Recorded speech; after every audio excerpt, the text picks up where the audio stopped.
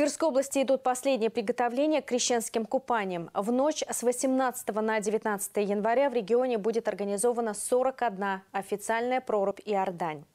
В областном центре традиционный для православных ритуал можно будет совершить на набережной Афанасия Никитина напротив Центрального корпуса Тверского государственного технического университета. Съемочная группа нашего телеканала проинспектировала место, где будет оборудована купель.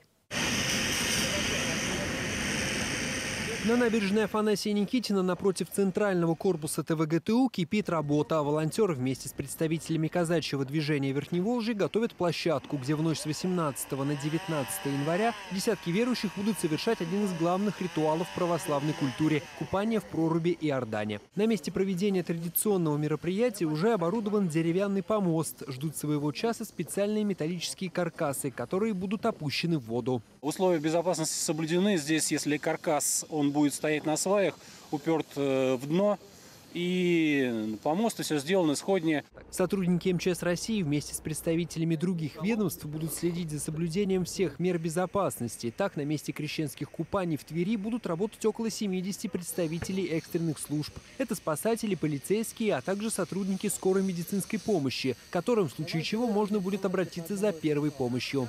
Так же, как рассказали в МЧС России, на площадке перед центральным корпусом ТВГТУ будут работать пункты обогрева. Три палатки, пункт обогрева, в том числе и питание будет э, горячее.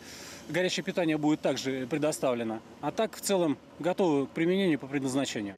На сегодняшний день толщина льда в районе Купели на набережной Волги достигает порядка 15 сантиметров, констатируют в МЧС России. Ледяной покров прочный, а проведенные представителями различных ведомств подготовительные мероприятия сделают массовые крещенские купания в этом месте максимально безопасными. Тем не менее, дабы избежать всех рисков, связанных с ритуалом, важно соблюдать ряд нехитрых правил. Отправляясь к купели, оденьтесь как можно теплее, возьмите с собой резиновый коврик, шлепанцы и теплый халат с капюшоном. Также совершенно не лишним будет захватить термос с горячим чаем или кофе. И, разумеется, не стоит забывать о средствах индивидуальной защиты.